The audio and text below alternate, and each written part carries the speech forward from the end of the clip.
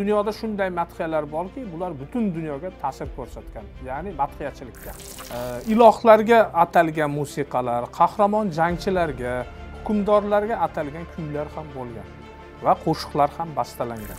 Reformatsiya davrida protestantlar katoliklar katolik diniga qarshi o'zining jangovar gimniga ega bo'lgan. Bu qo'shiq ilk bor yangrashi bilan butun fransiyaga dong'i ketgan ekan. Mana shunday kuyni bastalagan odamni bugun ko'pchilik bilmaydi. Boshini kesishlariga ham bir baxya qolgan ekan. Shunday kuyni yaratgan odamni boshini kesmoqchi bo'lganlar. Bu lyuksemburg tarixidagi yagona va birinchi oltin medal.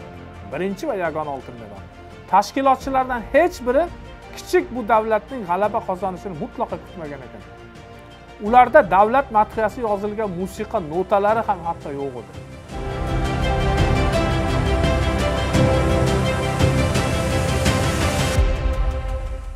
Madhiyalar tarixi haqida qisqacha. Madhiyalar yaqinda paydo bo'lgan ramz emas. Madhiya qadimgi judayam qadimgi tarixga ega. Qadimgi shumer qadimgi bobil qadimgi misr davlatlarida musiqali odatlar ilohlarga atalgan musiqalar qahramon jangchilarga hukmdorlarga atalgan kuylar ham bo'lgan va qo'shiqlar ham bastalangan.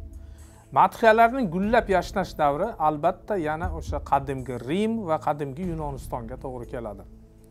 Gimn ya'ni madhiya so'zining e, yunoncha e, himni so'zidan olingan bo'lib e, sharaflash madh etish va maqtash ma'nosida keladi. Madhiya ayniqsa xristian madaniyatida yaqqol o'z aksini ko'rsatgan. Uyg'onish asridan so'ng diniy madhiyalar bilan birga dunyoviy madhiyalar ham shakllana boshlagan. Bizgacha yetib kelgan madhiyalar orasida o'n ikkinchi asrga tegishli hatto talabalarning universitet talabalarining gaudiamus igitur madhiyasi ham juda mashhur bo'lgan. U hozirgacha yetib kelgan shu madhiya. Qadimgi madhiyalar orasida qadimgi hind sanskrit tilida buddaga bag'ishlangan madhiyalar ham ajralib turgan.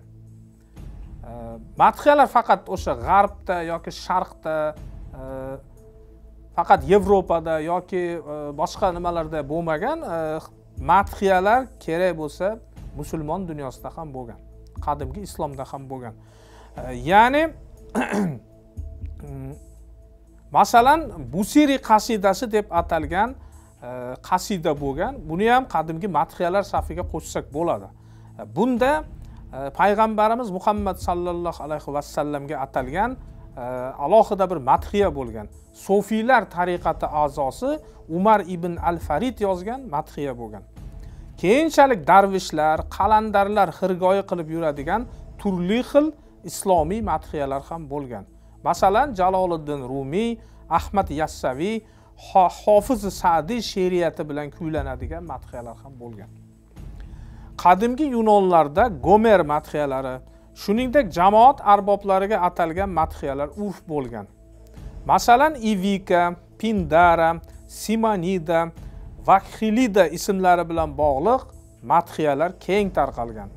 Yunon madhiyalaridan hozirgi kungacha ayrimlari masalan gamer kallimah prokl sinesiya madhiyalari yetib kelgan. Xristian dini bilan bog'liq madhiyalar xristian e, avliyolari endi ular avliyo deb hisoblaydi. Xristian avliyolari bo'lmish iyon e, iyon damashqlik yoki roman suxondon degan e, madhiya kuylovchilar mana shunday madhiyalarni yozganlar. Lotin madhiyalaridan prudensiya madhiyasi ham juda mashhur bo'lgan. Keyinchalik reformatsiya davrida ya'ni islohotlar davrida shahar burjuaziyasining manfaatlarini aks ettiruvchi fransisk azitskiyning madhiyasi ham yangraydi. Nemis protestantlari esa katoliklarga qarshi kurashda martin lyuterning gimni gimni bo'lmish ya'ni madhiyasi bo'lmish aynfishte burg jangovar madhiyasidan foydalanganlar. Demak yevropada o'sha reformatsiya davrida protestantlar katoliklar katolik diniga qarshi o'zining jangovar gimniga ega bo'lgan. Bunday gimndan ya'ni bunday madhiyadan oliver kromvel boshchiligidagi angliya burjua inqilobining armiyasi ham ana shunday madhiya bilan jangga borgan. Mashhur o'ttiz yillik urushlar davrida ham turli xil siyosiy va diniy madhiyalar yangragan ulardan eng yiriklari ya'ni eng e, esda qolarlari ya'ni hozirgacha yetib kelgan madhiyalardan angelus silezus paul gerhard paul flemingning madhiyalarini aytib o'tish mumkin. O'n to'qqizinchi asrga kelib romantik adabiyot madhiyalari ham paydo bo'lgan. Masalan novalisning kechki madhiyasi ozod lirik formani aks ettirgan. Unga taqlid qilgan nemis faylasuf shoiri genrix geynening nasriy she'riyat orqali madhiyasi ham bor. Navalis madhiyasi angliyada jorj makdonald tomonidan inglizchaga ham tarjima qilingan. Endi ulug' madhiyalarga kelsak albatta hamma madhiyalar e, o'ziga yarasha ulug'likka ega. Har bir davlatni o'zini madhiyasi o'sha xalq uchun albatta bir ramz. Lekin dunyoda shunday madhiyalar borki bular butun dunyoga ta'sir ko'rsatgan ya'ni madhiyachilikka masalan marseliyeza fransiyani gimni bir ming yetti yuz to'qson ikkinchi yil yigirma beshinchi aprelida strasburg shahrida ya'ni fransiyaning strasburg shahrida klod jozef rujadelil degan ismli kishi afsonaviy bir kuyni bastalaydi. Bu kuy oz muddatda ozodlik va inqilob kuyi bo'lmish fransiya madhiyasiga aylanadi. Fransiya endigina avstriyaga qarshi urushga kirgan davrlar edi. Inqilob otashida butun fransuz jamiyatini qalblarini ehtirosdan yondirgan mana shu kuy bo'lib chiqdi. Inqilobdan ruhlangan e, o'sha davrda inqilobdan ruhlangan baron ditrix degan kishi e, yoshgina ko'ngilli shoir va bastakor ruje delilga murojaat qiladi. Baron yosh shoirga inqilob madhiyasini yaratish kerakligini uqtirib unga yangi gimn uchun buyurtma beradi. Madhiya otashin vatanparvar shoir tomonidan bir kechada bastalanadi. Bir kechada e, o'sha buyuk gimnni ya'ni buyuk madhiyani rujadelil bastalaydi. Bu qo'shiq ilk bor yangrashi bilan butun fransiyaga dong'i ketgan ekan.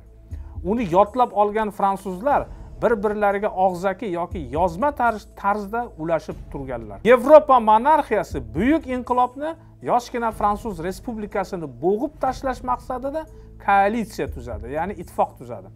Dushman fransiya chegaralaridan o'tib parijga yaqinlashib kelardi. Shunda parij himoyasiga yetib kelgan marsellik ko'ngillilar ana shu yangi gimn ya'ni marsalyezani kuylab dushmanga qarshi tashlanadilar. Valmi yonidagi jangda inqilobiy fransiya bosqinchi qo'shinlarni uloqtirib yuboradilar. Inqilob armiyasi marsalyezani kuylab jangga kirgan ekan. O'shanda nemis shoiri ulug' gyote bu qo'shiqni eshitib o'z safdoshlariga men yangi davrni ko'ryapman degan ekan. Marselyeza bilan keyinchalik napoleon armiyasi ham buyuk g'alabalarga erishgan. Biroq marselyeza chinakamiga madhiya sifatida bir ming sakkiz yuz qirq sakkizinchi yildagi inqilobda yangragan edi. Hozirgi kunda ham bu madhiya fransiya va fransuz xalqining g'ururi tarixi or nomusi va shon sharafidir. Marselyezaning har bir misrasini bugun har bir fransuz biladi. Roje de lilni esa bugun ko'pchilik tanimaydi. Mana shunday mana shunday kuyni bastalagan odamni bugun ko'pchilik bilmaydi. Uni inqilob davrida boshini kesishlariga ham bir baxya qolgan ekan. Shunday kuyni yaratgan odamni boshini kesmoqchi bo'lganlar. O'sha kuyni yaratishda buyurtma bergan aslida tashabbuskori mana shu kuyni paydo bo'lishiga tashabbus ko'rsatgan baron ditrix esa afsuski gilyatinada boshi kesilgan. Ajoyib qarang shunday ulug' gimnni yaratgan ya'ni yaratishda puli pulini berib mana shu qo'shiqni bastalatgan odamni boshini kesishgan. Albatta madhiyalar haqida juda ko'p gapirish mumkin. Yana bitta qiziqarli nimani aytay e, shu bilan yakunlaymiz. Bir ming to'qqiz yuz ellik ikkinchi yilda helsinkida e, yozgi olimpiada bo'ladi. Ya'ni olimpiada musobaqalari bo'ladi. Shunda e, lyuksemburglik sportchi jozef bartel shov shuvli tarzda oltin medalni qo'lga kiritadi. Bu lyuksemburg tarixidagi yagona va birinchi oltin medal birinchi va yagona oltin medal. Tashkilotchilardan hech biri kichik bu davlatning g'alaba qozonishini mutlaqo kutmagan ekan. Ularda davlat madhiyasi yozilgan musiqa notalari ham hatto yo'q edi. Lyuksemburgni notasini hech kim bilmaydi. Qanaqa buni nimasi? Gimni. Chalib kech hamma hayron. Buni qanaqa gimn chalamiz? Orkestr shunchaki e, improvizatsiya qilishga majbur bo'ladi. Orkestr o'zicha musiqa bastalab kuylab yuboradi bartel mana shu kuyni eshitib yig'lab yuborgan ekan. Ammo bu g'alaba ko'z yoshlari emas balki mamlakat uchun bo'lgan alamli ko'z yoshlaridir. Hozirgacha ham bu lyuksemburg olimpiadasidagi yagona oltindir va ana shu kuy lyuksemburg gimnining paydo bo'lishiga ta'sir qilgan. Albatta gimnlar bu muqaddasdir ya'ni vatan ramzidir.